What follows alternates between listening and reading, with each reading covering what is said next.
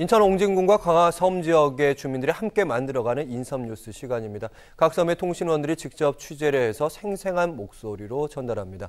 오늘은 소청도와 교동도 소식을 들어보겠습니다.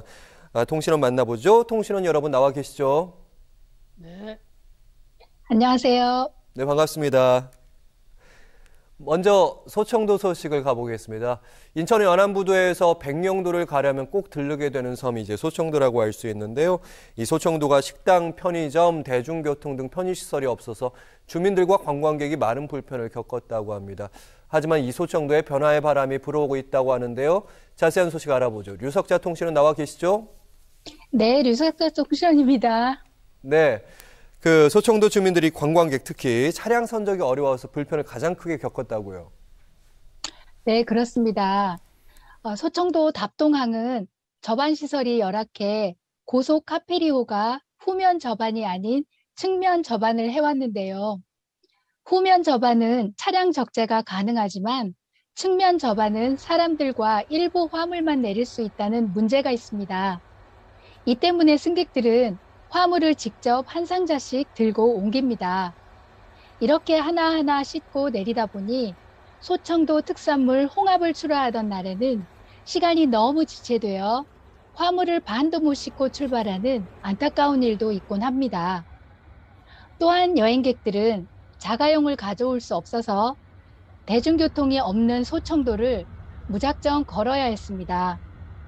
그래서 소청도 주민들은 차량을 싣고 내릴 수 있도록 고속 카페리오의 후면 저반의 필요성을 호소해 왔습니다. 여기서 생산되는 홍합뿐이 아니고 각종 어획물 이런 것들 수산물이 에, 수산물이 육지로 나가야 되기 때문에 싣는데 어려움이 많아요. 시간도 많이 지체되고. 다행히도 지난해 12월에 답동항의 어항 기반 시설이 준공되었습니다.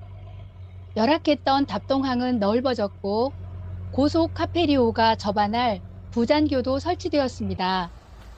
지난 21일 소청도 답동항에서는 고속 카페리오의 후면 접안을 위한 시범 운항이 있었습니다. 관계자들과 소청도 주민들이 모인 가운데 20여 분에 걸쳐 실시된 시범 접안은 성공적이었습니다. 이제 소청도 주민들은 상시 접안을 손꼽아 기다리고 있습니다. 오늘 시험 접안이 아주 성공적이었는데요. 하루빨리 상시 접안이 좀 이루어져서 주민들 수산물 유통에 지장이 없어지면 좋겠습니다. 옹진군은 시험 후면 접안이 성공적이었다고 밝혔습니다. 선사 측이 요청한 배를 묶는 개선주의 추가 설치와 방충제 설치를 완료한 뒤 늦어도 3월 중에는 후면 접안을 시작할 것이라고 말했습니다. 상시 후면 접안이 빨리 실현되어 주민들의 수산물 유통이 원활해지고 여행객들이 자가용을 싣고 소청도를 방문하는 봄바람, 신바람 부는 날이 기다려집니다. 대청도에서 류석다 통신원이었습니다.